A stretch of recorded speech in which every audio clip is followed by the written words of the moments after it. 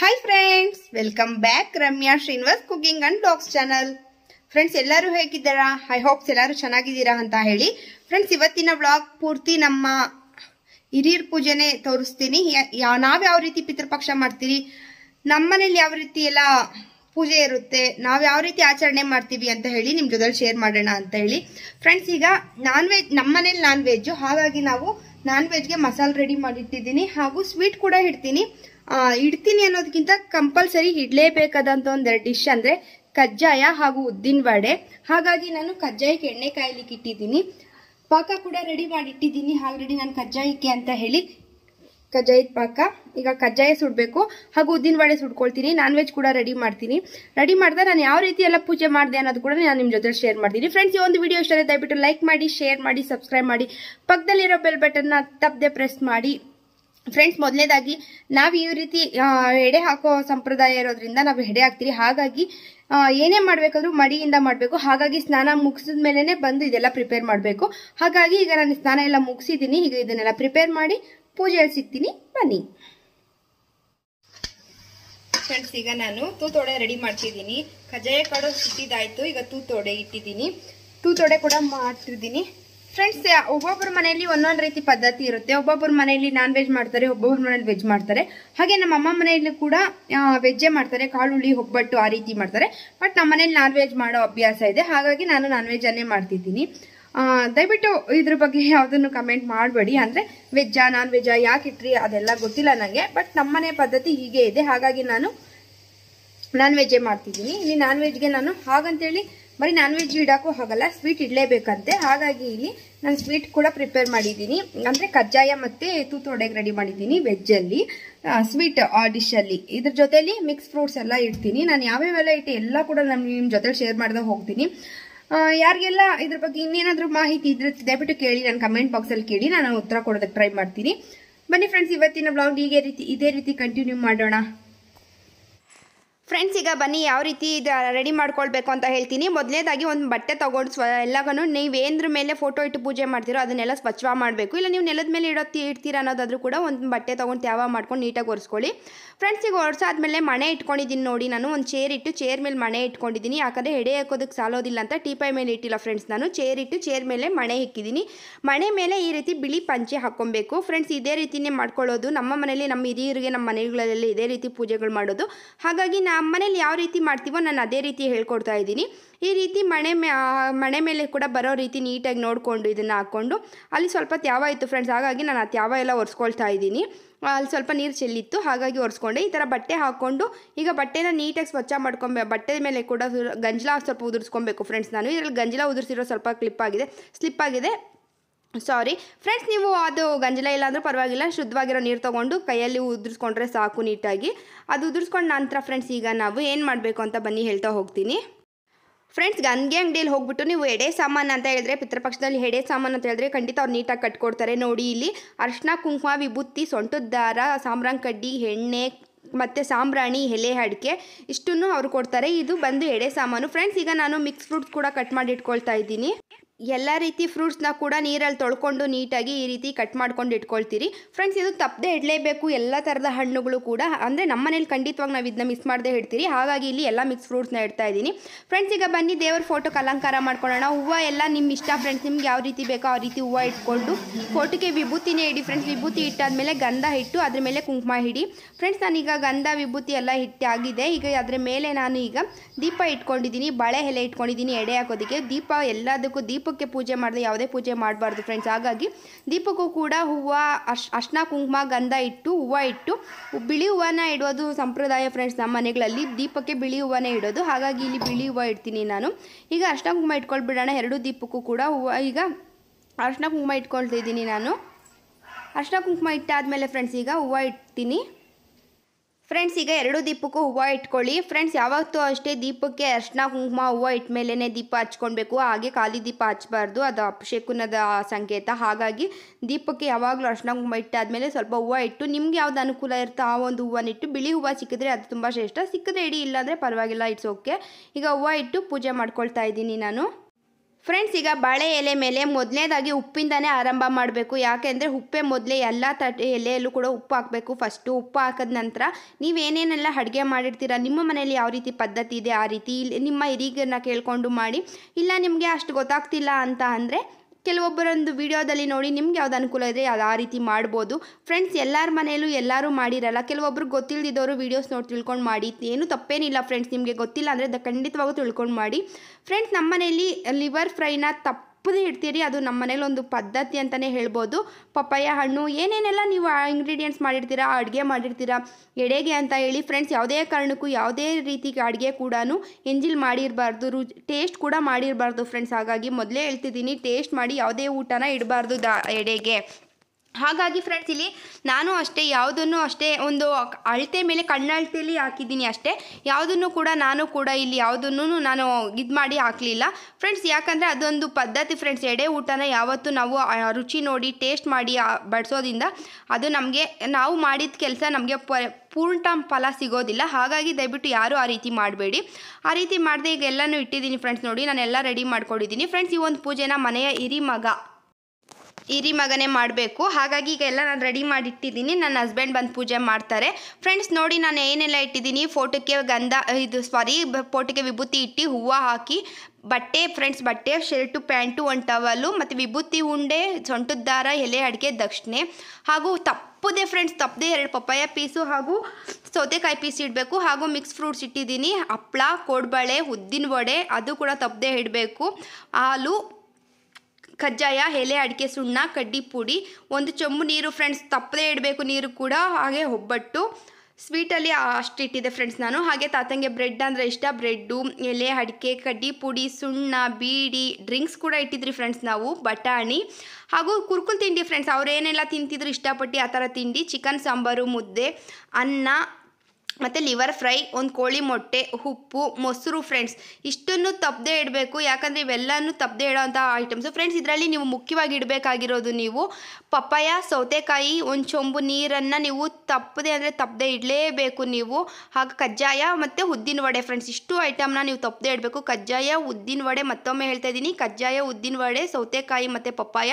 ಈ ನಾಲ್ಕನ್ನು ನೀವು ಈ ಥರ ಪಿತೃಪಕ್ಷದಲ್ಲಿ ಪೂಜೆ ಮಾಡ್ತೀರಾ ಅಂದರೆ ತಪ್ಪದೆ ಇಡಲೇಬೇಕು. ಹಿಟ್ಟು ಪೂಜೆ ಮಾಡೋದ್ರಿಂದ ತುಂಬ ಒಳ್ಳೆಯದಾಗುತ್ತೆ ಫ್ರೆಂಡ್ಸ್ ಇಲ್ಲಿ ನನ್ನ ಹಸ್ಬೆಂಡ್ ಒಬ್ಬರೇ ಅವ್ರ ಮಗ.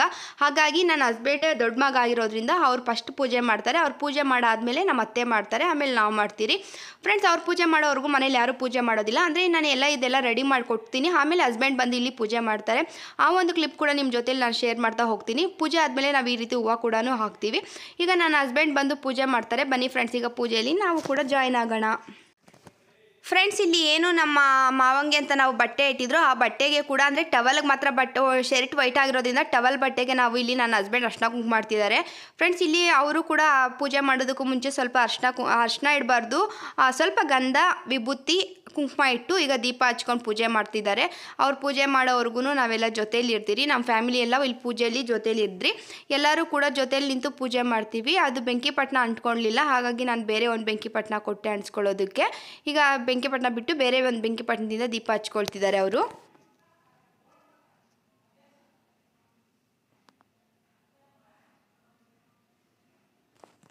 ಫ್ರೆಂಡ್ಸ್ ಈಗ ದೀಪ ಹಚ್ಕೊಂಡು ಈಗ ಪೂಜೆ ಶುರು ಮಾಡೋಣ. ಫ್ರೆಂಡ್ಸ್ ಯಾವತ್ತೂ ಅಷ್ಟೇ ದೀಪನ ಮೊದಲೇ ಹಚ್ಕೊಂಡು ಆಮೇಲೆ ಪೂಜೆ ಮಾಡಬೇಕು. ದೀಪ ಹಚ್ಚೋಕ್ಕೂ ಮುಂಚೆ ದೀಪಕ್ಕೆ ಮತ್ತೊಮ್ಮೆ ಹೇಳ್ತಿದ್ದೀನಿ. ಅರಿಶಿಣ, ಕುಂಕುಮ, ಗಂಧ ಹಿಟ್ಟು, ಸ್ವಲ್ಪ ಅಕ್ಷತೆ ದೀಪದ ಕೆಳಗಡೆ ಹಿಟ್ಟು, ಆಮೇಲೆ ಹೂವು ಇಟ್ಟು ಪೂಜೆ ಮಾಡಿದ್ರೆ ನೀವೇನು ಪೂಜೆ ಮಾಡ್ತಿದ್ರೋ ಆ ಪೂಜೆಯ ಪರಿಪೂರ್ಣ ಫಲ ನಿಮಗೆ ಸಿಗುತ್ತೆ. ಹಾಗಾಗಿ ದಯವಿಟ್ಟು ಅದೇ ರೀತಿ ಮಾಡ್ಕೊಳ್ಳಿ ಅಂತ ಹೇಳೋದಕ್ಕೆ ಇಷ್ಟಪಡ್ತೀನಿ. ಫ್ರೆಂಡ್ಸ್ ಈ ಒಂದು ವಿಡಿಯೋದಲ್ಲಿ ನಾನು ಏನೆಲ್ಲ ಹೇಳ್ತಿದ್ದೀನಿ ನನಗೆ ಗೊತ್ತಿರೋ ಅಷ್ಟು ಮಾಹಿತಿ ನಾನು ನಮ್ಮ ಹಿರಿಯರು ಏನು ಹೇಳಿದರೋ ಅದರ ಮಾಹಿತಿ ನಿಮ್ಮ ಜೊತೆಲಿ ಹಂಚ್ಕೊಳ್ತಿದ್ದೀನಿ. ಏನಾದರೂ ಗೊತ್ತಿಲ್ಲದೋ ಗೊತ್ತೋ ತಪ್ಪಾಗಿದೆ, ದಯವಿಟ್ಟು ಕ್ಷಮಿಸಿ. ಹಾಗೂ ನನ್ನಲ್ಲಿ ಏನಾದರೂ ತಪ್ಪಿದ್ರೆ ಹೇಳಿ ನಾನು ತಿದ್ಕೊಳ್ಳೋದಕ್ಕೆ ಖಂಡಿತ ಪ್ರಯತ್ನ ಪಡ್ತೀನಿ. ತಿದ್ಕೊಳ್ತೀನಿ ಕೂಡ. ಈ ಒಂದು ವಿಡಿಯೋ ಇಷ್ಟ ಆದರೆ ದಯವಿಟ್ಟು ಲೈಕ್ ಮಾಡಿ ಶೇರ್ ಮಾಡಿ ಸಬ್ಸ್ಕ್ರೈಬ್ ಮಾಡಿ, ಪಕ್ಕದಲ್ಲಿರೋ ಬೆಲ್ ಬಟನ್ನ ತಪ್ಪದೆ ಪ್ರೆಸ್ ಮಾಡಿ. ನಮ್ಮಂಥ ಪ್ರತಿ ಹೊಸ ಪ್ರತಿಭೆಗಳಿಗೆ ನಿಮ್ಮ ಪ್ರೀತಿ ಸಪೋರ್ಟ್ ಸದಾ ಇರಲಿ ಅಂತ ಕೇಳ್ತಾ ಫ್ರೆಂಡ್ಸ್ ಇದು ಎಲ್ಲನೂ ಕೂಡ ನಾನು ನಮ್ಮ ಹಿರಿಯರು ಹೇಗೆ ಮಾಡ್ತಾರೋ ಅದನ್ನು ತಿಳ್ಕೊಂಡೇ ಮಾಡಿರೋದು. ನಮ್ಮ ಮನೆಯ ಪದ್ಧತಿ ಇದೇ ರೀತಿ ಇದೆ. ಯಾರ್ಯಾರ ಮನೇಲಿ ಯಾವ್ಯಾವ ರೀತಿ ಪದ್ಧತಿ ಮಾಡ್ತೀರಾ ಅಂತ ಹೇಳಿ ದಯವಿಟ್ಟು ಕಮೆಂಟ್ ಮಾಡಿ ತಿಳಿಸಿ. ನಾನು ಕೂಡ ತಿಳ್ಕೊಳ್ತೀನಿ ಯಾವ ರೀತಿಯೆಲ್ಲ ಆಚರಣೆ ಇರುತ್ತೆ ಅಂತ ಹೇಳಿ. ನೋಡಿ, ಈಗ ಅಲ್ಲಿ ಒಂದು ತೆಂಗಿನಕಾಯಿ ಕೂಡ ಇಟ್ಟಿದ್ದೀರಿ ಪೂಜೆಗೆ. ಫ್ರೆಂಡ್ಸ್ ಹಾಗೂ ಸಾಂಬ್ರಾಣಿ ಕೂಡ ತಪ್ಪದೇ ಇಟ್ಕೊಳ್ಬೇಕು. ಫ್ರೆಂಡ್ಸ್ ಈ ಒಂದು ಪಿತೃಪಕ್ಷದಲ್ಲಿ ಸಾಂಬ್ರಾಣಿ ಹಾಕೋದೇ ಒಂದು ಮುಖ್ಯವಾದ ಉದ್ದೇಶ. ಸಾಂಬ್ರಾಣಿ ಹಾಕಿದ್ರೇ ಆ ಪೂಜೆಯ ಫಲ ಸಿಕ್ಕಂಗೆ. ಹಾಗಾಗಿ ದಯವಿಟ್ಟು ಸಾಂಬ್ರಾಣಿ ಹಾಕಿ.